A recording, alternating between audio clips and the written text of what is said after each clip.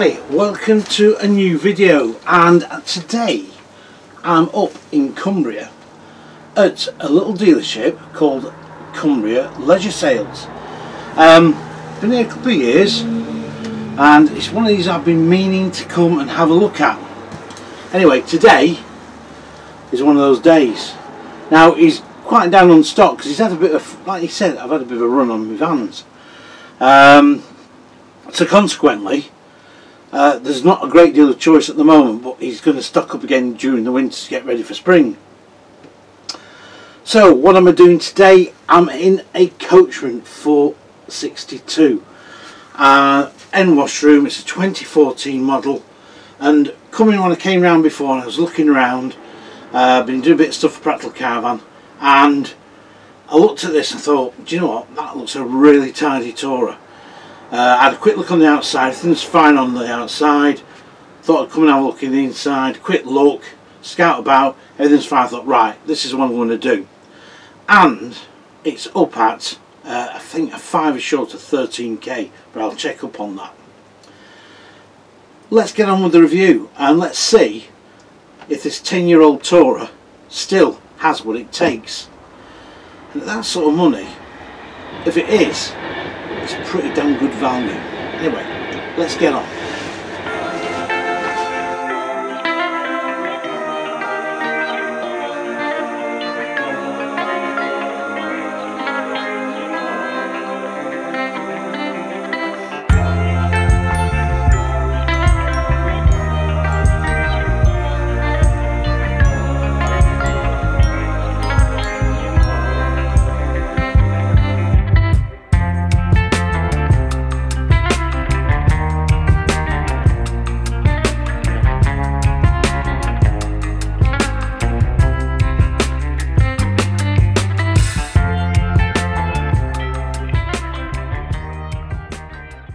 Right, okay, let's start off uh, in the front lounge of course. And um, I did just check the price again and it is 13,000 quid. And uh, I only think this is looking a real good package but let's have a good check around. So let's start off with this lounge area. Well, as you can see it's the conventional layout. It's two berth say home washroom central kitchen and dresser and the large front dinette. Um, what I noticed straight away actually when I came in as well and I sat down was typical good quality um, Coachman upholstery. This still looks pretty much as though it's been hardly really sat on very much and it may not have been but it is in really nice condition. Um, very comfortable, bolster cushions with it being VIP of course and um, yeah very very nice to sit on and I like the scatter cushions. Now also in the front end here you've got twin blown air heater because it's pre-Alde.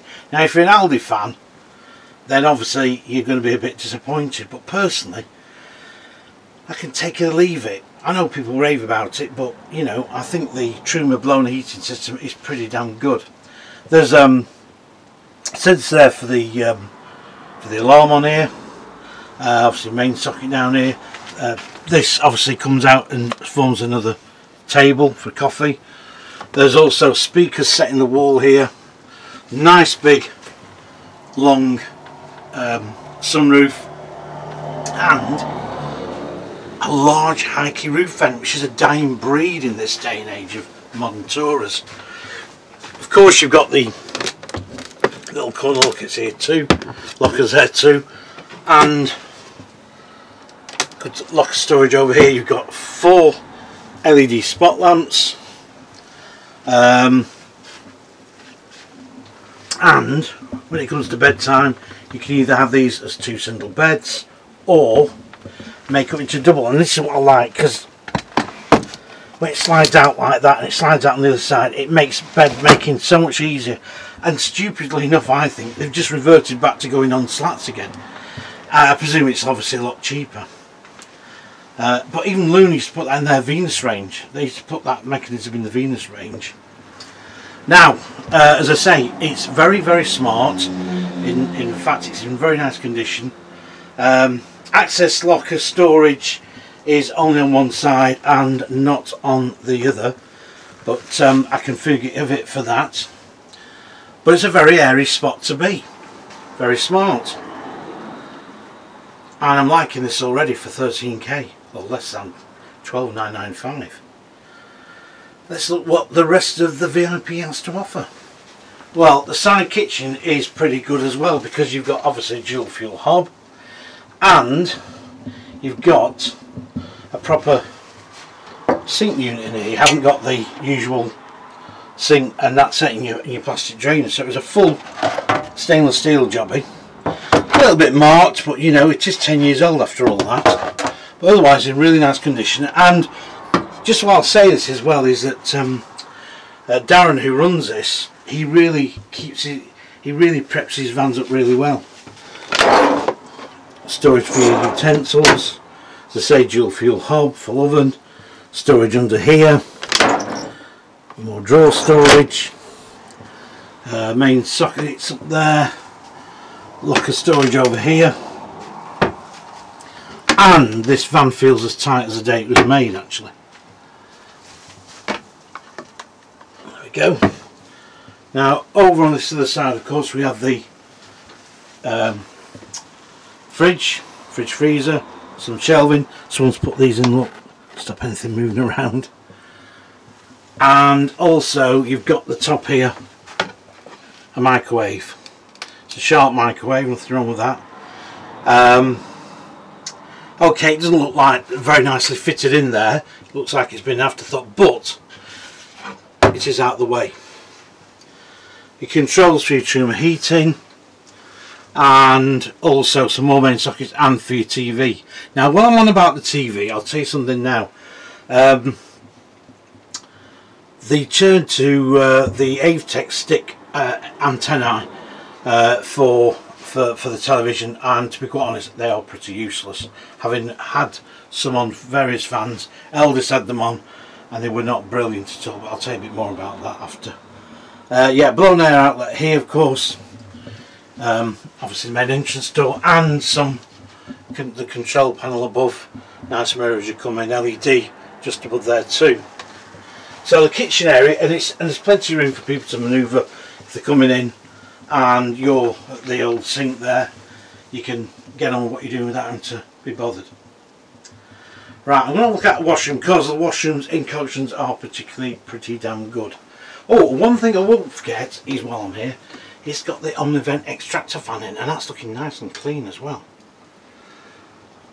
Okay, let's proceed into that rear washroom. Right, looks like there's been there's some sort of awning thing here. I don't know what it's. Let's have a look. Yeah, there must be a porch awning or something with it. Anyway, um, it's all been thrown in the back here. Doesn't matter. We can still see what's what.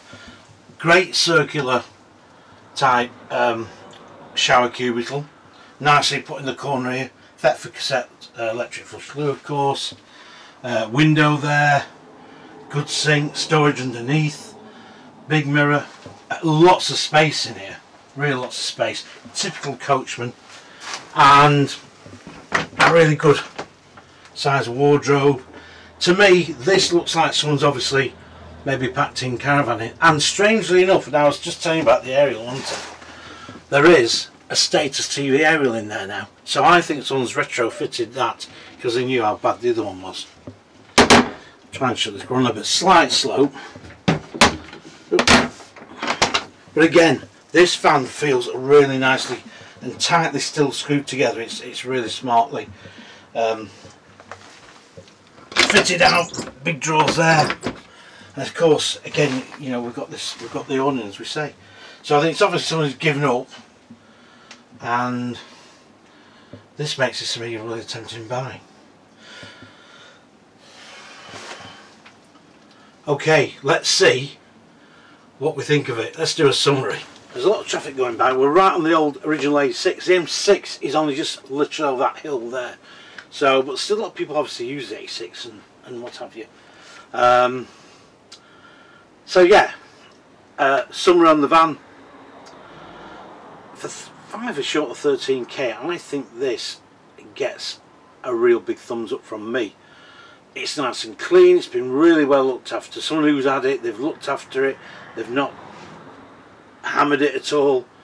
Um, it's coming with obviously with Aquaroll etc all the bits and bobs.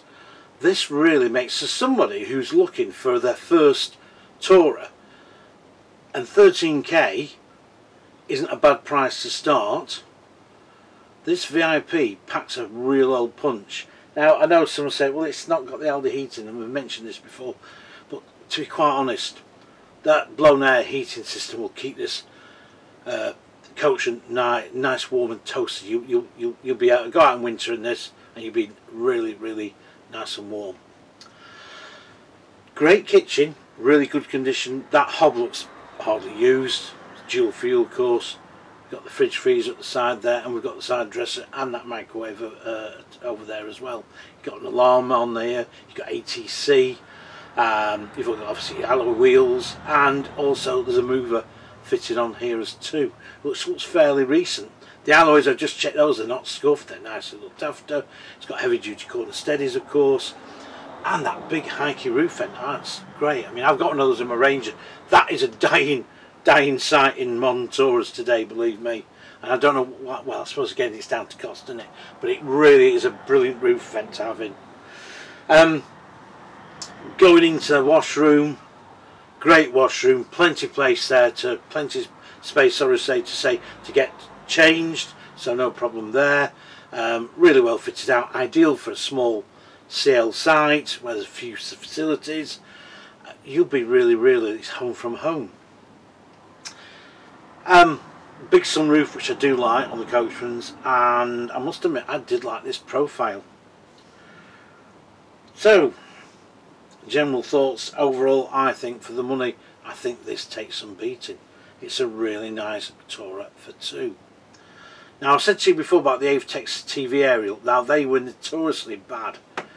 Unless you were sat on top of the transmitter you didn't get much of a picture. Now I had a couple of caravans on, on, on review and years gone by when they put this on and people saying what do you think of that? It's rubbish. It's no good. Now I know when Elddis fitted it on um, and then Coachman fitted it on, you know, and I say, well, you can't get a decent picture.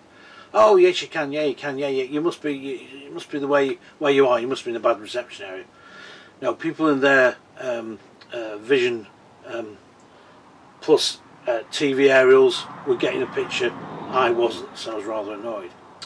So this has got the stick on there, but like we saw in the wardrobe, there is the Vision Plus removable retractable aerial. So what somebody's done is they've said, that's no good, stickers one of them in, and the job looks like it's been done properly as well, because you've got to be a bit careful, because somebody tries to do it, there's another hole in that roof for more, you know, for another uh, entrance for water to get in. It looks all well sealed, also it's all dry. This van is really, really nice. So, I spoke to Darren, the owner of Leisure, uh, of uh, Cumbria Leisure, uh, say, really nice chap, um, and he has some nice stock here. Saying not much today because he's you know he's had a bit of a run, um, and not not really much in the way of Part X is coming in. So, you know, if you're a small dealer, that can heavily dent you. But I've looked at his prices. His prices look good, fair, very fair. The van's looking nice condition. It's it's a nice little dealership. Look, if you're up this way, take this take the turning off for Shap and come over and see Cumbria Leisure because he's open five days a week. Sorry, blow that. Seven days a week. Um, you probably have to give him a, a, buzz for him to come out and see you. But you can just come and wander at your, at your leisure and, and, and not be pressured into a sale uh, like some of the big boys are. Now you probably heard the motorbikes coming past because the old A6 is definitely a, a, a really favourite spot for the bikers to come this old way. And um, and yeah it's, it's a real scenic route and it drops back down over into Kendal. So I'm going to wrap this video up. Uh, please keep liking please keep subscribing. And also please give us your comments. Do you think this is a nice fan as well? I think it's a belter. I really do. It's a belter. Well, how many times do I use that word? I don't often. I am on this case. I'll uh, see you on the next video. And again thanks for watching. And um, keep subscribing and please don't forget to share the videos and if you do buy this van and you've seen this video, please tell Darren. At least then he knows that someone's actually taking notice of what I say and do. I'll see you on the next one. Thanks for watching. Bye for now.